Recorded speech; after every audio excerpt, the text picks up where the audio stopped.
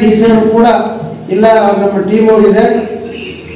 ಆ ಟೀಮ್ ವರದಿ ಬಂದ ನಂತರ ನಾನು ತೀರ್ಮಾನ ತಗೊಂಡೆ ಅಂತ ಹೇಳಿದ್ದಕ್ಕೆ ನಾವು ಕೂಡ ಒಂದು ವಾರ ಬಿಡಬೇಕಾಗಿದೆ. ನಮ್ಮನ್ನ ನಿನ್ನೆ ಕೂಡ ನಾವು ಎಸ್ ಪಿ ಅವರಿಗೆ ಐ ಜಿ ಅವರಿಗೂ ಕೂಡ ಮಾತಾಡಿದೆ ನಾನು. ಇಲ್ಲಿ ಈ ರೀತಿ ಘಟನೆಗಳು ನಡೀತಾವೆ ಅಂತೇಳಿ ಇನ್ನು ಮುಂದೆ ಬರಿಬೇಕಾಗುತ್ತೆ. ನಾವೇನೋ ಇಲ್ಲೇ ಹಂತದಲ್ಲೇ ಮುಗಿಸ್ಬೇಕಂತ ಹೇಳಿದ್ವಿ. ಇವರೇನಿದ್ರು ತಾಲೂಕು ಮಟ್ಟದ ಅಧಿಕಾರಿಗಳು ಎಲ್ಲರೂ ಕೂಡ ಶಾಸಕರ ಕೈಗೊಂಬೆ ಆಗಿದ್ದರಿಂದ ಇವರು ಸರಿಯಾಗಿ ಸ್ಪಂದನೆ ಮಾಡ್ತಾ ಇಲ್ಲ. ಆದ್ದರಿಂದ ಮೇಲಾಧಿಕಾರಿಗಳ ಮುಖಾಂತರ ಇನ್ನೂ ನನಗೆ ಏನೇನು ಸಾಧ್ಯತೆ ಅದನ್ನು ನಾವು ಮಾಡ್ತಕ್ಕಂಥದ್ದು ಮಾಡ್ತೀವಿ.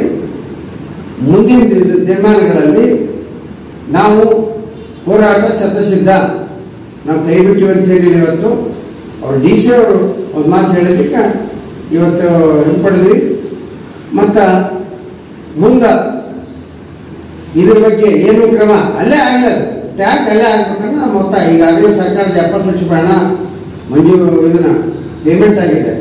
ಈಗ ಬೇರೆ ಕಡೆ ಹೋಗ್ಬೇಕಾದ್ರೆ ಆ ಎಪ್ಪತ್ತು ಲಕ್ಷ ರೂಪಾಯಿ ಯಾರು ಕೊಡಬೇಕು? ಅದು ಯಾರ ಹಣ? ಸಾರ್ವಜನಿಕರ ಹಣ.